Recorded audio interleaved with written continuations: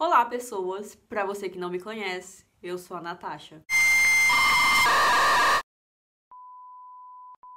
Eu tô vestida de casaquinho assim, de calça também, porque hoje tá muito frio, tá chovendo desde a madrugada passada e aquela chuva fina, sabe?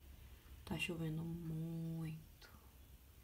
E é, e é aquela chuvinha fina, sabe? Nossa, tá muito frio também, muito frio. Hoje eu vou responder para vocês 10 perguntinhas que vocês me deixaram lá no Instagram. Se você não me mandou pergunta, é porque você tá perdendo. Corre lá no meu Instagram. Quando tiver um próximo vídeo desse, com certeza você vai poder mandar a sua perguntinha e vai participar do vídeo também. Sempre, como é de costume aqui do canal, eu trouxe a minha colinha, porque eu uso o meu celular para poder gravar vídeo aqui para vocês, então não tem como eu ficar lendo as perguntas do próprio celular, né? É, a primeira pergunta que eu recebi, eu não vou falar o nome das pessoas, porque eu não sei se as pessoas querem que eu fale, então eu não vou falar. Bom, mas a primeira pergunta foi: é, vocês dois pensam em morar sozinhos em outra casa ou não? No caso, eu e o meu marido, né, que você quis dizer. É, a gente pensa sim em mudar, só que são planos futuros, porque a gente tá com um projeto aí para 2019 que não podemos falar. E sim, provavelmente vamos morar sós aí nos próximos meses. A segunda pergunta foi: é, quero casar com um estrangeiro, o que devo fazer? Gente, é, eu queria fazer uma pergunta aqui para vocês antes de responder essa pergunta, se vocês me permitirem. É, desde que eu comecei a gravar vídeos aqui pro YouTube e é, dividir um pouco da minha vida com vocês, eu tenho recebido algumas mensagens de algumas meninas e até meninos também me pedindo dica para poder arranjar um esposo, um namorado, me pedindo até para apresentar alguém.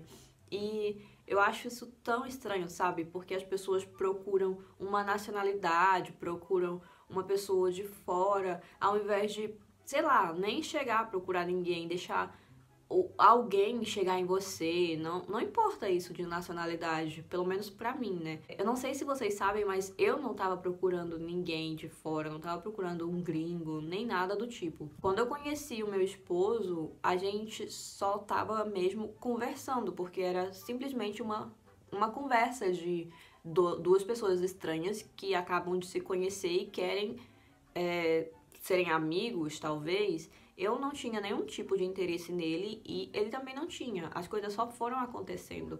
Então eu acho que vocês devem levar isso para vocês, sabe? Não procurarem tanto nacionalidade, sei lá, pessoas assim, porque pessoas são pessoas, não importa se a pessoa nasceu na China ou nasceu na Coreia ou nasceu nos Estados Unidos, pessoas são pessoas. Sei lá, e é isso que eu acho. Eu acho que você não deve procurar uma nacionalidade, um país ou coisa do tipo. Mas se o que eu tô te falando não serviu de muita coisa, tem um vídeo aqui no meu canal onde eu te dou, aliás, onde eu mostro para vocês três aplicativos onde é possível conversar com pessoas estrangeiras e quem sabe encontrar aí o amor da sua vida, né? Então, eu te aconselho a dar uma pesquisadinha aí no canal, porque esse vídeo está disponível e talvez possa te ajudar.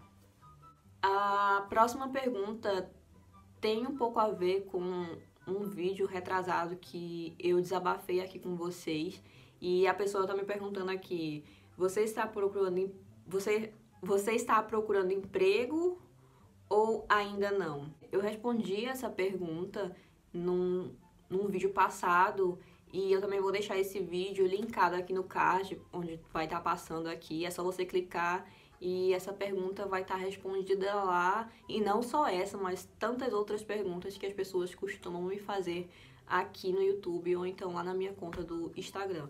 Corre lá que essa pergunta está respondida, ok? Tem pergunta aqui repetida que fizeram duas vezes, que é também sobre morar sozinhos. É, eu vou pular para a próxima. É, a próxima pergunta diz aqui: Qual é a sua relação com seus sogros? Sogro. Sogros ou sogro? Sogros, né? A minha relação, na verdade, o pai do meu esposo faleceu há muitos anos atrás e ele só tem mesmo a mãe. Então, a minha relação com a minha sogra é muito boa, muito boa, até do que com alguns parentes que eu tinha. Aliás, que eu tenho lá no Brasil. Ela é uma ótima pessoa, ela é uma pessoa carinhosa, amorosa, afetiva, ela é muito boazinha e quebra totalmente esse paradigma que as pessoas de fora são mais frias, né? Ela é um amor em pessoa. Claro que a gente tem uma relação limitada devido à língua, né? Porque ela fala lituano e inglês. Eu tô arranhando ainda, engatinhando no inglês e falo português, né? Então a nossa linguagem, a nossa comunicação não é tão fluente, mas a gente tenta, né? Faz até mímica se for possível para se comunicar e dá certo. A próxima pergunta aqui que me fizeram é: como você consegue ser tão linda? Você acha? É só meu jeitinho de ser. Brincadeira, gente. Não sei, eu só nasci assim. A próxima pergunta que me fizeram aqui é Ouvi dizer que os britânicos bebem muito. Isso é verdade? Se eu não me engano, eu já respondi sim essa pergunta em algum dos vídeos que eu já publiquei aqui. Eu não lembro ao certo o nome do vídeo, mas eu vou quebrar teu galho e vou falar aqui para você não precisar ir procurar esse vídeo, ok? Sim, isso é uma grande verdade. Os britânicos, não só os britânicos, mas em si os europeus bebem muito, muito, muito, de cair no chão quando tem festa ou nos finais de semana. E eles também fumam, que é uma beleza. Eles parecem uma caipora de tanto que eles fumam e chega até a assustar. Eu achei que no Brasil as pessoas bebessem muito e fumassem muito, mas aqui é três vezes mais e assusta qualquer um que não está acostumado com isso. E a última pergunta que eu recebi, que eu vou responder aqui em vídeo para vocês, é: a nossa amiga perguntou aqui. Fala sobre as mulheres britânicas, como elas são? São vaidosas? Sim, principalmente as meninas mais jovens, elas sempre andam na rua muito maquiadas, muito arrumadas, parece até que elas vão pra festa do sábado à noite, todos os dias durante a semana, porque elas sempre estão com aqueles olhos bem coloridos, com uma maquiagem super profissional, com cabelo super bem feito. Essa aí é a média das garotas mais jovens. As senhoras sempre parecem, eu brinco que as senhorinhas assim mais velhas sempre parece que elas estão vestidas como a rainha da Inglaterra, porque elas usam os conjuntinhos assim bem fofinhos e elas são assim muito bem arrumadinhas. Isso aqui no interior, né? Lá na capital, em Londres, quando eu ando por lá, eu sempre observo que as pessoas sim são arrumadas, mas em sua maioria quando elas estão trabalhando. Não, elas não andam tão bem maquiadas como as pessoas aqui do interior. Eu não sei porquê, talvez porque lá seja mais frenético e elas não tenham tanto tempo assim, então elas só passam uma maquiagem leve, uma roupa bacana e é isso, elas estão prontas.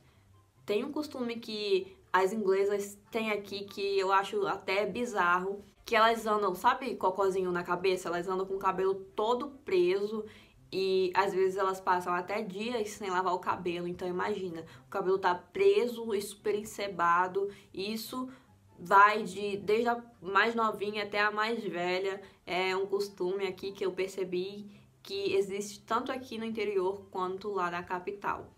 Mas, em suma, elas são bem produzidas mesmo. E é isso, minha gente. Eu vou terminando esse vídeo por aqui. Se você gostou desse tipo de vídeo, não esquece de comentar aqui embaixo o que você achou, de dar novas sugestões de vídeo, de clicar no gostei se você ainda não clicou, inscreva-se aqui embaixo nesse botãozinho vermelho. E é isso, minha gente. Um beijo bem grande para vocês e até o próximo vídeo.